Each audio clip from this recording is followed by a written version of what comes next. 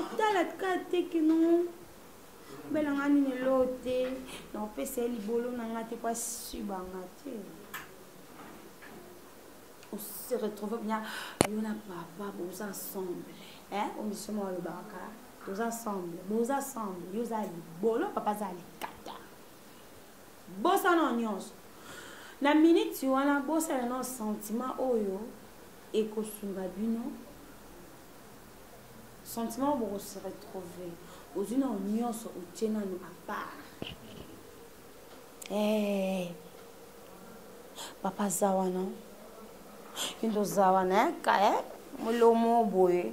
ozala nao na nzoto soki papa atali yo likata ya papa etelemi to mosusu asepela na mabele na yo to mosusu asepela na démarche na yo to mosusu asepela na masoko na yo to mosusu asepela ya kolia ye mbanga yango papa so to mosusu asepelaka mpe na misu na so atali yo kaka likata papa etindi ndinga na mposa lia na ye asiba ye e tellement yo ana souci ya mbongo tie mbongo liboso papa biso tya boye olia loko ebembe papa mpe likatana ata mosusu etimbaki nango aye nango mpe ntina libolo na yo chu asibi yo mai apeti papa ane na peti ya osiba yo mai yo momi ozali so na peti osiba papa te mpo ozwi mbongo tie liboso kufa kosibana eleki nyonso botika kosibana liboso makambo nyonso a partir ya kosibana obénéficie ntango mosusu basurprise mwa papa akoki kosalela oyo okanaki te fongola motema r papa alaposa siba yo fongola motema ere omoni ke likata ya papa deja etimbi yo mpe sikoyo obosana nyonso kanisa kaka koma kaka concentre likato nde etimbi boye hmm. ah, ah, donc ah, il faut kotanga ah, na sentir babion na sentir ah, elengi mo boye na se retrouver Hey, yo bongo merci naloba na partout tozokoba en tout cas nayebi boza vraiment ebele mpe boza vraiment en branché mpe concentré na émission ya lelo babe émission ya lelo nde makambo hey. Eh. toboyi te bolingo mpe etambola na mbongo mais ngai naza kuna te ngai naza kaka kosibana ya mbongo na ya sa mbongo différence yo so papa na mbongo okobalole na petit ah so papa azangi mbongo akomi néglige likata ekomi néglige ey yo bongo likata ezwaka valeur so papa na mbongo mwa mnga na dor alobi kufa na yo parce que osalaka mabe obeta yango fo yo bongo likata ezala mbongo ezala mbongo te mikate ezala néglige te eh. tokomi na point wana ah. moninga ndenge aza wana na posa ya misama kidi evandi ye na mokongo ebeta mosusu mama libolo mpe esala mokusa likata mais oyo na eswa mbongo eswa mbongo esa mwa balimite moko boye ya kosibana nde eza tantina yango aloba o oh, mbongo na maboko lisoko na mbeto en tout cas ngai nalingaka vraiment parole wana te epesaka nga kanda osakana te o oh, ezalaka ezalaka mbongo na maboko lisoko na mbeto te En tout cas, merci toujours Koba. Euh, nayebi ke boza vraiment vraiment branché euh, bino bamama oyo boza mabolo lokwa nga ah, bobersaka bapapa so aza ya mbongo en tout cas so si c'est après mission oyo kotala lisu mbongo ya papa ti papa ta chomia ah, ta bosalaka bongo boyeba valeur osi bana te eh? hein eh eza bato mosusu mpe fi moko mpenza ko mobali apesa yo eloo te mais akraka na ye jwana dega boyebi mpo ani mpo mobali ana asiba ye libolo très bien mais apesa ye mbongo ya malonga te mais akraka na ye mobali beri mibali mosusu so remarke ke mwasi na nga oyo nasi adora alingaka mbongo mingi avosiba nga bien il faut luka nango mbongo ebele apres osibi nga bien so oza ya mbongo moke oresone ka e eh, naonyateni ya bien te parce que napesi mbongo malonga te te bali mpe ozala na mbongo ozala na mbongo te siba mwasi ya ndenge esengeli po biso oza tolingaka mbongo mingi lelo ya liboso tolingaka nde kodobe tolingaka nde mobali oyo oyo adoba très bien ezaka nini mbe mosusu oza ya basi ebele moyebi ke oyo ah, so naosiba ye na se retrouvaka so naosiba ye na perdaka so naosiba ye na gangaka voir voir même na lelaka bazali epe lokola biso basi oyebi ke obala ota mosusu dudu esthétique dadi baso azosiba nga nalelaka so azosiba nga nagangaka so azosiba nga na perdaka po bilendo apianga nakozwa ngo nil par ailleurs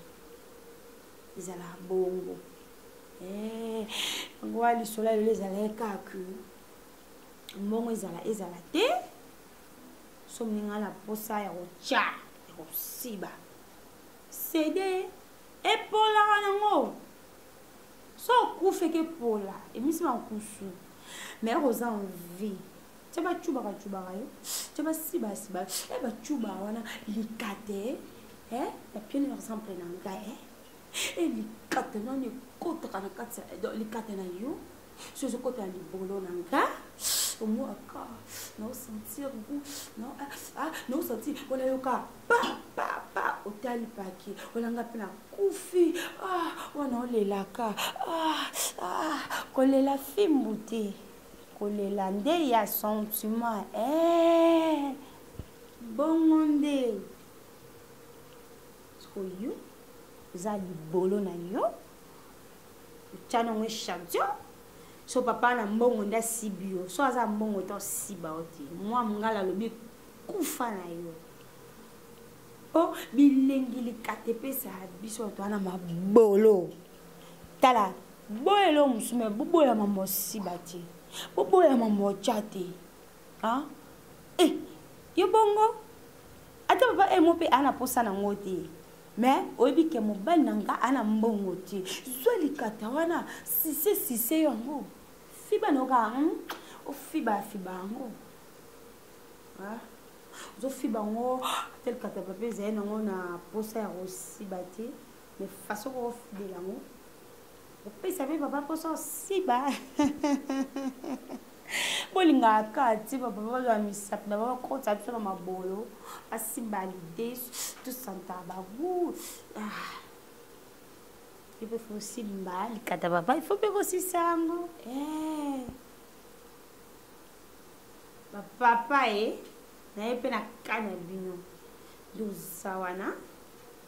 okoma kaka soki oza excite obwa makidi ya liboso olembi hey, eh, yo bongo soko biso basi sentime ya malembe malembe ya bino mibale ya mbala moko tema biso ya malembe malembe eko siba nga oyebi ke première coup faut nabwaka première coup première coup eumelaka te ezala na basalite e eh, gilbert tata mokonzi le roi père ozoyoka yo bongola nga eye koarrive deuxième coup oyebi ke première coup eumela te mais faut siba mm, biso oyo tolingaka ya siba première coup tokonta yango te ezalaka basali te mambo siba nevai na deuxième coup e, eh, yango nde makambo bino bapapa bokoma so atendre mwa age moko 40 ans 50 ans okosima mambetu te okoza ezalaka au contraire omoi mobali soko atendre 38 ans 39 mata tina santa oza makasi ya bitumba te memema so omoni ka libolo ya mwasi odasuki opedre osiba libolo ya mwasi na ndenge moko kino basiba ye bongo te eh! tozongi na lisolo na biso nyonso apart o oh! mobali wako asali nga boye te so asengi nga na butu na opia ete te ola na kola ola na pantolo papa sikoyo presio eyaki eye deja likata papa etimbi asengo olongolaka esu kola olongolaka esu pantolo omona mpe likata papa mpe koolala nango eza avion te so oza mobali na yo il faut kozalaka mutakala sans caleçon mpo elikata eh, eh, bato etimbi nango papa na facilité azwi ka lokolo na abwaki ka mbaa moko apanzi oka mama makolo ako premier coup eyaka na pression aka panzi makolo akosentir déjà elengi moboye ah, ah, osa kaka likatani tute na kana nzoto na yo makidi ebima mpo se sentir à l'aise remaka te papa na mposa osiba mama oboya epesa bapapa kanda omoi mbe mosusu akokangama mpe mbe mosusu akobana obeta yo mpe mpo ani mpo makidi eyaka na pression ya première coup naobandela première coup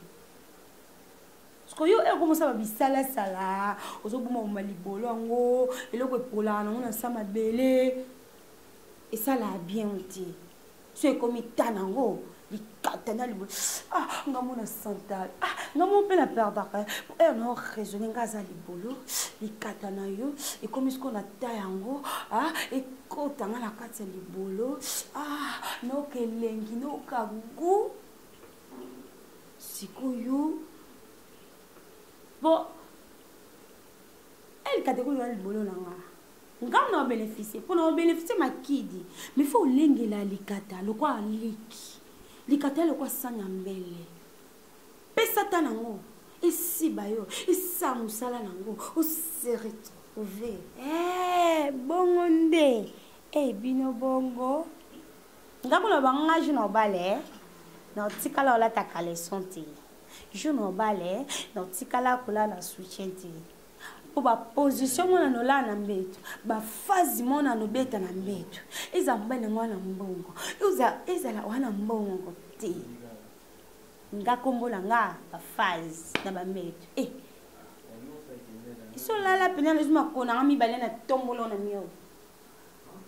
sina lala pele zuma kolanga na panzi boye nyonso wana kaka na na mposa likata mobali ekota nga na kati ya libolo na nga mpo esala nga babion eh. bafana nga badora na lavino ya trop partout bozomi na monde entier en tout cas tozalaka concentré na lisolo oyo bien sûr bolingo moke mbongo moke bolingo ebele mbongo ebelele wana eza à part kosibana ya sambongo na ya mbongo ezalaka te ezalaka te likata eza homme riche il faut kozala na souci ya makidi il faut kozala nango dans les besoin parce que makidi wana mpo okozwa yango okopakola yango mpe na elongi ebimisi bote na yo makidi ya mobali etelemisaka eh, mabele ya mwasi makidi ya mobali evimbisaka masoko kasi na obala ere nyonso sibanga kaka namonaka makidi wana namela yango ka ere nyonso mpo yango nde oyo oh, ngai nandima obalelanga mama osibana ee eh, mama olanda nga so papa alingi yo ndima ye kaka mpo na makidi na ye oyo ebatamaka na mabindi na ye oyo elekaka na likata mpe ebimi libanda ebimi libanda eye koarrive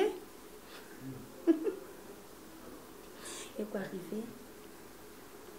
kasi mpe etelemi nango ekomi otelengana ekomi otelengana Ouais libolo. Non si bani. Yo opimi na papa libolo. Olina ke dobe soso. Olina ke si bani aou. Mais kufa na yo nzambe opinir yo. Opimi na papa libolo pour la mbongo. Hein? Likata bini ngetelema wana. On a bien ali. Kemba mubesu. Esa kabwe. Esa kabwe zo lenga. Nani ozwanga? Ouais libolo. Ouais libolo. Elle a poussé libolo ya mutu. Elle a poussé libolo ya nyama te. siko yo osala minene ovimbavimba liboso ya likata yo libolo na bongo siko papa lalala soki ekute osiba oh, niao mpo niao ala mposa mbongo te osepela nango ata nzambe opinir yo parce que nzambe akeli ada